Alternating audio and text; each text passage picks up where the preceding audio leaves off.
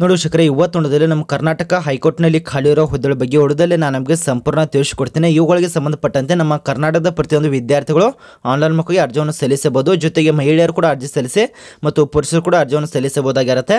ನೋಡಿ ಶಕ್ರೆ, ಇವುಗಳಿಗೆ ಅರ್ಜಿ ಸಲ್ಲಿಸುವ ಅಭ್ಯರ್ಥಿಗೆ ಗುಡ್ ನ್ಯೂಸ್ ಏನಂದರೆ ಯಾವುದೇ ರೀತಿಯ ಒಂದು ಪರೀಕ್ಷೆ ಇರೋದಿಲ್ಲ, ಒಂದೇ ಹುದ್ದೆಗೆ ಸಂಬಂಧಪಟ್ಟಂತೆ ಪರೀಕ್ಷೆ ಇರುತ್ತೆ. ಉಳಿದಂಥ ಹುದ್ದೆಗೆ ಸಂಬಂಧಪಟ್ಟಂತೆ ಯಾವುದೇ ರೀತಿಯ ಒಂದು ಪರೀಕ್ಷೆ ಇರೋದಿಲ್ಲ, ದೈಹಿಕ ಪರೀಕ್ಷೆ ಕೂಡ ಇರೋದಿಲ್ಲ ಮತ್ತು ಲಿಖಿತ ಪರೀಕ್ಷೆ ಕೂಡ ಇರೋದಿಲ್ಲ. ಡೈರೆಕ್ಟ್ ನಿಮಗೆ ಸಂದರ್ಶನ ಮುಖಾಂತರಗೆ ಮತ್ತು ದಾಖಲಾತಿ ಪರಿಶೀಲನೆ ನಡೆಸಿ ನೇರವಾಗಿ ಆಯ್ಕೆಯನ್ನು ಮಾಡಲಾಗುತ್ತೆ. ಅರ್ಜಿ ಸಲ್ಲಿಸುವ ಅಭ್ಯರ್ಥಿಗೆ ಎರಡನೇ ಗುಡ್ ನ್ಯೂಸ್ ಏನಂದರೆ, ಅರ್ಜಿ ಸಲ್ಲಿಸಿದ ಅಭ್ಯರ್ಥಿಗೆ ವಯಸ್ಸಿನ ಮಿತಿ ಕೂಡ ಸಡಿಲಿಕ್ಕಿರುತ್ತೆ ಅದು ಎಷ್ಟೊಟ್ಟು ಸೇರಲಿಕ್ಕೆ ಅನುವಾಗುತ್ತೆ ಮತ್ತು ಯಾವ ಒಂದು ವೆಬ್ಸೈಟ್ ಮುಖಾಂತರ ಅರ್ಜಿಯನ್ನು ಸಲ್ಲಿಸಬೇಕು ಮತ್ತು ಶೈಕ್ಷಣಿಕ ಅರ್ಹತೆ ಏನಾಗಿರಬೇಕು, ಇದಕ್ಕೆ ಸಂಬಂಧಪಟ್ಟಂತೆ ಆಯ್ಕೆಯಾದ ಅಭ್ಯರ್ಥಿಗೆ ಮಂತ್ಲಿ ವೇತನ ಸೇನೆ ಎಷ್ಟು ಇರುತ್ತೆ, ಎಷ್ಟು ಹುದ್ದೆಗೆ ಅರ್ಜಿಯನ್ನು ಕರೆದಿರ್ತಾರೆ. ಒಂದೊಂದಾಗಿ ಮಾಹಿತಿ ಹೊಡೆದಲ್ಲಿ ಸಂಪೂರ್ಣ ತಿಳಿಸ್ಕೊಡ್ತೇನೆ. ಆದಷ್ಟು ವಿಡಿಯೋನ ಸ್ಕಿಪ್ ಮಾಡದೆ ಕೊನೆ ತನಕ ನೋಡಿ. ಇನ್ನೂವರೆಗೆ ಯಾರು ನಮ್ಮ ಚಾನಲನ್ನು ಸಬ್ಸ್ಕ್ರೈಬ್ ಮಾಡಿಲ್ಲ, ಈಗಲೇ ನಮ್ಮ ಚಾನಲನ್ನು ಸಬ್ಸ್ಕ್ರೈಬ್ ಮಾಡ್ಕೊಂಡು ಬಾಜುಕಿನ ಬೆಲ್ ಬಟನ್ ಕೂಡ ಆಲ್ ಮೇಲೆ ಪ್ರೆಸ್ ಮಾಡ್ಕೊಳ್ಳಿ. ನಾವು ಹಾಕೋ ಎಲ್ಲ ಹೊಸ ಹೊಸ ಅಪ್ಡೇಟ್ಗಳು ನಿಮಗೆ ನೋಟಿಫಿಕೇಶನ್ ಮುಖಾಂತರ ಬಂದು ಬೇಗನೆ ತಲುಪುತ್ತದೆ.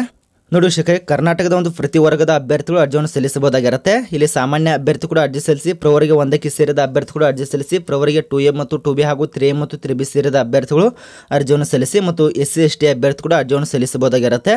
ಆದಷ್ಟು ಎಲ್ಲ ಕಡೆಗಡದವರು ಅರ್ಜಿ ಸಲ್ಲಿಸಿ ಮತ್ತು ಮಹಿಳೆಯರು ಕೂಡ ಅರ್ಜಿಯನ್ನು ಸಲ್ಲಿಸಬಹುದು. ಮಹಿಳಾ ಅಭ್ಯರ್ಥಿ ಕೂಡ ಇಲ್ಲಿ ಖಾಲಿರೋ ಹುದ್ದೆಳಾಗಿರುತ್ತೆ ಮತ್ತು ಕನ್ನಡ ಮಾಧ್ಯಮ ಅಭ್ಯರ್ಥಿ ಕೂಡ ಅರ್ಜಿಯನ್ನು ಸಲ್ಲಿಸಬಹುದು. ಜೊತೆಗೆ ಸಂಬಂಧಪಟ್ಟಂತೆ ಮಾಜಿ ಸೈನಿಕ ಅಭ್ಯರ್ಥಿ ಕೂಡ ಅರ್ಜಿ ಸಲ್ಲಿಸಿ ಇಲ್ಲಿ ಖಾಲಿರೋ ಹುದ್ದೆಗಳಾಗಿರುತ್ತೆ. ಅರ್ಜಿ ಸಲ್ಲಿಸುವ ಅಭ್ಯರ್ಥಿಗೆ ಶೈಕ್ಷಣಿಕ ಅರ್ಹತೆ ಏನಾಗಿರ್ಬೇಕಂದ್ರೆ ಅಭ್ಯರ್ಥಿಗಳು ಕರ್ನಾಟಕದ ಪ್ರೌಢ ಶಿಕ್ಷಣ ಅಥವಾ ಪರೀಕ್ಷಾ ಮಂಡಳಿಯಿಂದ, ಅಂದರೆ ವಿಶ್ವವಿದ್ಯಾಲಯದಿಂದ ಎಸ್ ಎಸ್ ಎಲ್ ಸಿ ಪಾಸಾದರೂ ಅರ್ಜಿಯನ್ನು ಸಲ್ಲಿಸಬಹುದು. ಇಲ್ಲಿ ತಸ್ತಮಾನ ಕೂಡ ಉತ್ತೀರ್ಣರಾದರೂ ಅರ್ಜಿಯನ್ನು ಸಲ್ಲಿಸಬಹುದಾಗಿರುತ್ತೆ. ಇದು ಮೂರನೇ, ಮೊದಲನೇ ಒಂದು ಕಂಡೀಷನ್ ಆಗಿರುತ್ತೆ. ಎರಡನೇ ಕಂಡೀಷನ್ ಅಂದರೆ ಅಭ್ಯರ್ಥಿಗೆ ಸಂಬಂಧಪಟ್ಟಂತೆ ಕನ್ನಡ ಭಾಷೆ ಓದಲು ಬರೆಯಲು ಬರಬೇಕಾಗುತ್ತೆ. ಅಂದರೆ ಕನ್ನಡವು ಮಾತನಾಡಲು ಬರಬೇಕು ಮತ್ತು ಕನ್ನಡ ಓದಲು ಬರಬೇಕಂತ ಇಲ್ಲಿ ಅನೌನ್ಸ್ ಮಾಡಿದ್ದಾರೆ. ಆದಷ್ಟು ಈ ರೀತಿಯ ನಿಮಗೆ ಆಯ್ಕೆಯನ್ನು ಮಾಡಲಾಗುತ್ತೆ. ನೋಡು ಶಕ್ರೆ, ಈಗಾಗಲೇ ತಿಳಿಸ್ಕೊಟ್ಟಿದ್ದೇವಲ್ಲ, ಯಾವುದೇ ರೀತಿಯ ಒಂದು ಪರೀಕ್ಷೆ ಇರೋದಿಲ್ಲ, ನಿಮಗೆ ಶೇಕಡಾವಾರು ಅನೌನ್ಸ್ ಮಾಡಿಕೊಂಡು ಆಯ್ಕೆಯನ್ನು ಮಾಡಲಾಗುತ್ತೆ. ಆಧಾರದ ಮೇಲೆ ಆಯ್ಕೆಯನ್ನು ಮಾಡ್ತಾರೆ. ಒಂದು ಅನುಪಾತ ಹತ್ತರಂತೆ ಇಲ್ಲಿ ಆಯ್ಕೆಯನ್ನು ಮಾಡಲಾಗುತ್ತೆ. ಆದಷ್ಟು ಎಲ್ಲ ಅಭ್ಯರ್ಥಿಗಳು ಅರ್ಜಿ ಸಲ್ಲಿಸೋರು ಅರ್ಜಿ ಸಲ್ಲಿಸಿ ಬೇಡಾದವರು ಬಿಟ್ಟು ಬಿಡ್ಬೋದು. ಯಾಕಂದರೆ ನಿಮಗೆ ಇಷ್ಟ ಆಗಿರುತ್ತೆ.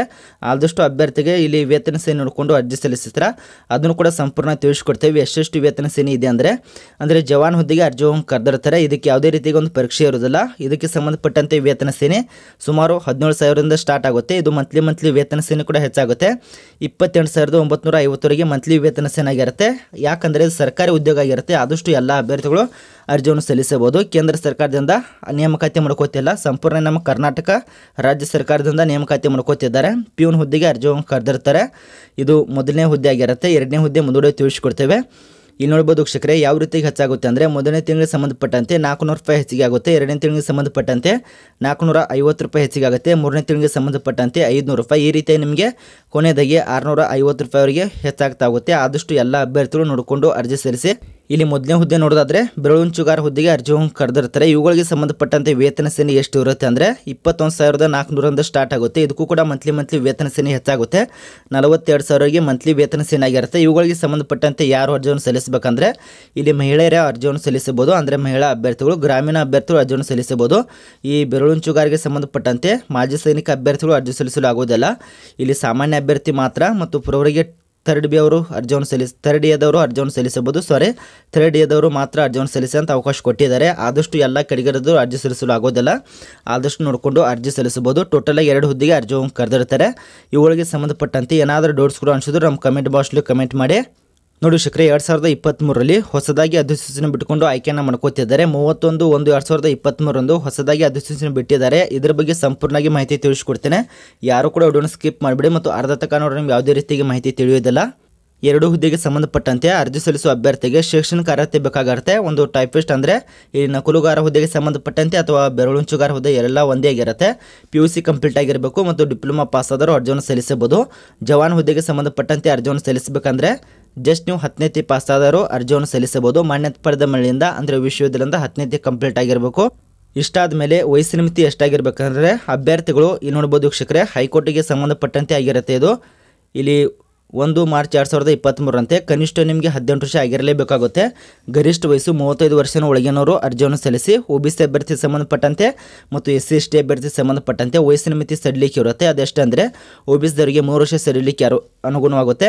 ಎಸ್ ಸಿ, ಎಸ್ ಟಿ ಅಭ್ಯರ್ಥಿ ಸಂಬಂಧಪಟ್ಟಂತೆ ಐದು ವರ್ಷದ ತನಕ ಸಡಿಲಿಕ್ಕೆ ಇರುತ್ತೆ. ಆದಷ್ಟು ನೋಡಿಕೊಂಡು ಅರ್ಜಿ ಸಲ್ಲಿಸಿ.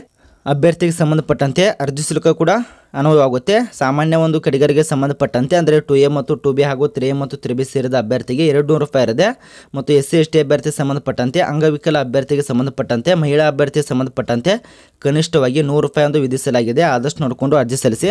ಸಂಪೂರ್ಣವಾಗಿ ಪಾವತಿ ವಿಧಾನ ಬಂದು ಎರಡು ಪ್ರಕಾರ ಕೊಟ್ಟಿದ್ದಾರೆ. ಒಂದು ಆನ್ಲೈನ್ ಮೂಲಕವಾಗಿ ಪಾವತಿಸಬಹುದು ಅಥವಾ ಚಲನದ ಮೂಲಕವಾಗಿ ಕೂಡ ನೀವು ಪೋಸ್ಟ್ ಆಫೀಸ್ ಮೂಲಕವಾಗಿ ಅಥವಾ ಅಂಚೆ ಇಲಾಖೆ ಮೂಲಕವಾಗಿ ಕೂಡ ಈ ಆನ್ಲೈನ್ ಮೂಲಕವಾಗಿ ಅರ್ಜಿ ಶುಲ್ಕವನ್ನು ಪಾವತಿಸಬಹುದು. ನೋಡಿ ಶಿಖರ ಈಗಾಗಲೇ ತಿಳಿಸ್ಕೊಟ್ಟಿದ್ದೇವೆ, ಯಾವುದೇ ರೀತಿ ಒಂದು ಪರೀಕ್ಷೆ ಇರೋದಲ್ಲ ಒಂದು ಮೆರಿಟ್ ಪಟ್ಟಿಯನ್ನು ತಯಾರಿಸುತ್ತಾರೆ. ಹತ್ತನೇತಿಯಲ್ಲಿ ಎಷ್ಟು ಅಂಕಗಳು ಗಳಿಸಿದ್ರೆ ಅದರ ಮೇಲೆ ಆಯ್ಕೆ ಮಾಡ್ಕೋತಾರೆ. ಮತ್ತು ಟೈಪಿಸ್ಟ್ಗೆ ಒಂದು ಪರೀಕ್ಷೆ ಇರುತ್ತೆ. ಈಗಾಗಲೇ ತಿಳಿಸ್ಕೊಟ್ಟಿದ್ದೇವೆ, ಒಂದಕ್ಕೆ ಮಾತ್ರ ಪರೀಕ್ಷೆ ಇರುತ್ತೆ. ಉಳಿದೋದಕ್ಕೆಲ್ಲ ಯಾವುದೇ ರೀತಿಯಾಗಿ ಪರೀಕ್ಷೆ ಇರೋದಿಲ್ಲ ಅಂತ ಅದೇ ರೀತಿಯಾಗಿದೆ. ನೋಡ್ಬೋದು, ಎರಡನೇದಾಗಿ ಪರೀಕ್ಷೆ ಇರೋದಿಲ್ಲ ಮತ್ತು ಕೊನೆಯದಾಗಿ ಸಂದರ್ಶನ ಇರುತ್ತೆ. ಮತ್ತು ಡಾಕ್ಯುಮೆಂಟ್ಸ್ ವೆರಿಫಿಕೇಷನ್ ಮಾಡಿಕೊಂಡು ಆಯ್ಕೆಯನ್ನು ಮಾಡಲಾಗುತ್ತೆ. ಯಾವ್ಯಾವ ಡಾಕ್ಯುಮೆಂಟ್ಸ್ ಬೇಕಾಗುತ್ತೆ ಅದನ್ನು ಕೂಡ ಸಂಪೂರ್ಣ ತಿಳಿಸ್ಕೊಡ್ತೇವೆ.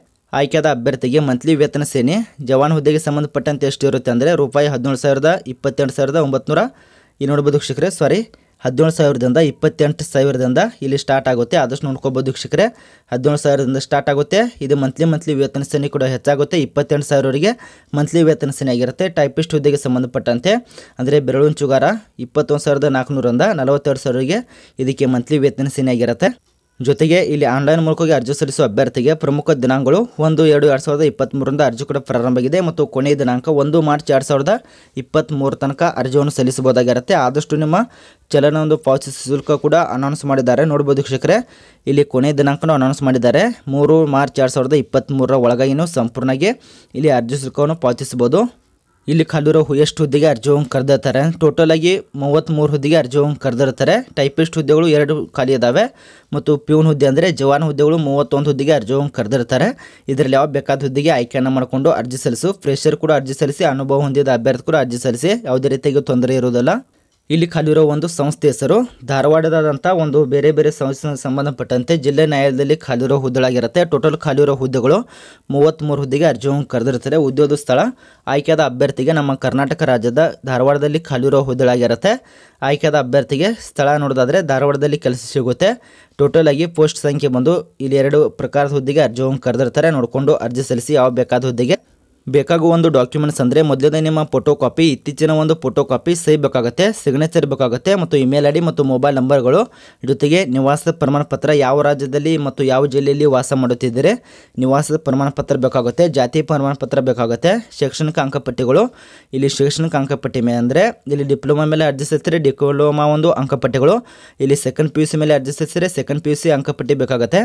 ಜೊತೆಗೆ ಕನ್ನಡ ಮಾಧ್ಯಮ ಮತ್ತು ಗ್ರಾಮೀಣ ಮಾಧ್ಯಮ ಬೇಕಾಗುತ್ತೆ. ಆಧಾರ್ ಕಾರ್ಡ್ ಕಂಪಲ್ಸರಿ ಆಗಬೇಕು ಐ ಡಿ ಪ್ರೂಫ್ ನಿಮ್ಮ ಪ್ಯಾನ್ ಕಾರ್ಡ್ ಕೇಳ್ತಾರೆ. ಇಷ್ಟು ಡಾಕ್ಯುಮೆಂಟ್ಸ್ ಇದ್ದರೂ ಅರ್ಜಿ ಸಲ್ಲಿಸಬಹುದಾಗಿರುತ್ತೆ. ಕರ್ನಾಟಕದ ಪ್ರತಿಯೊಂದು ವಿದ್ಯಾರ್ಥಿಗಳು ಅರ್ಜಿ ಸಲ್ಲಿಸಲು ಪ್ರಯತ್ನ ಮಾಡಿ. ಹಾಗೂ ಮಹಿಳೆಯರು ಕೂಡ ಅರ್ಜಿ ಸಲ್ಲಿಸಿ ಮತ್ತು ಪುರುಷರು ಕೂಡ ಅರ್ಜಿಯನ್ನು ಸಲ್ಲಿಸಬಹುದಾಗಿರುತ್ತೆ.